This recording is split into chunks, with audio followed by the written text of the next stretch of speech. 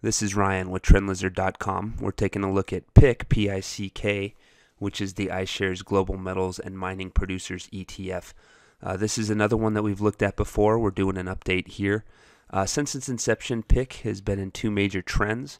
One to the downside, which appears to be one large counter trend three wave pullback, and then off the 2016 low in a nice trendy advance from there that is still in plate uh, as is right now. It does appear as if it's getting late in the progression here on this five wave advance.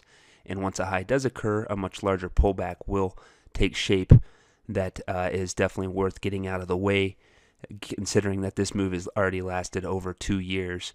And a pullback from there would probably last at least several months, uh, if not longer. So the real question is how far along are we in this advance and when will a high occur?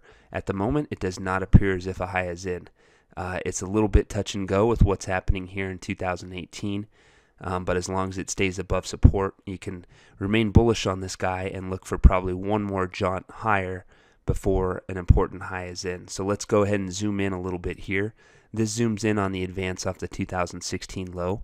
Every aspect of this move has been trendy, and we expect this move, basically the final move of this trendy up leg that started in June of 2017, uh, to continue before it's over.